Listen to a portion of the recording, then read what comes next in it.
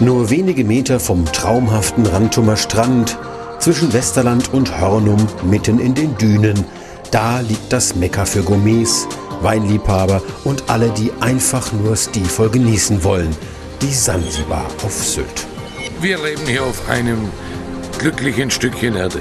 Es ist das Glück, hier leben zu dürfen, ist die Voraussetzung.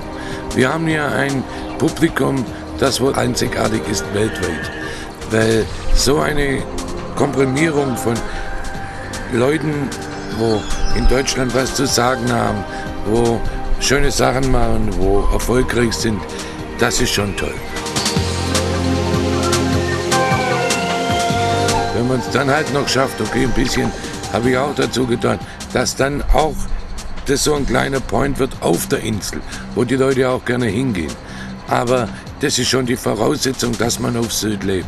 Wenn ich jetzt dasselbe machen würde in der Schwäbischen Alb, wo ich herkomme, würde das wahrscheinlich kein Mensch interessieren. Das Interesse weckt der unorthodoxe Gastronom Seckler aber nicht alleine, sondern mit einer täglich aufs Neue hochmotivierten Mannschaft. Ich brauche natürliche Menschen, wo auf die Menschen zugehen.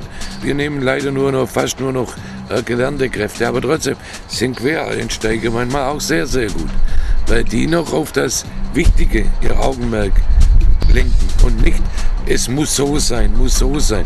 Diese komischen Gastronomieregeln, wo man vor tausend Jahren mal eine erfunden hat, wo die Wert drauf legen, das Brot muss da liegen und nicht da oder dies.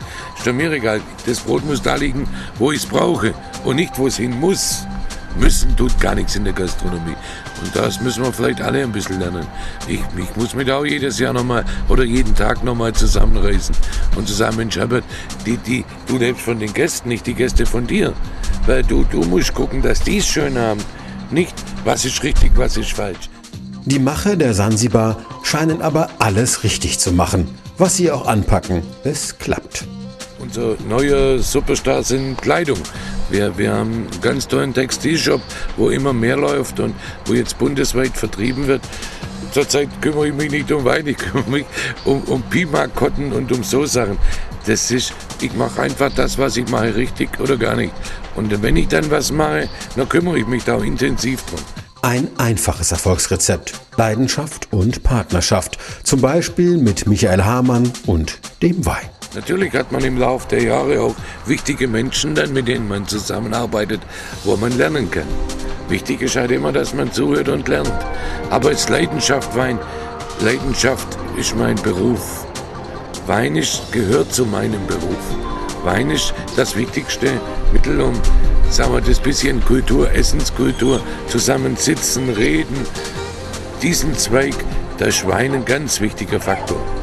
Und wenn Sie mehr wie glückliche Menschen machen, das ist eine, eine große Gabe, wenn man das hat, kann und darf.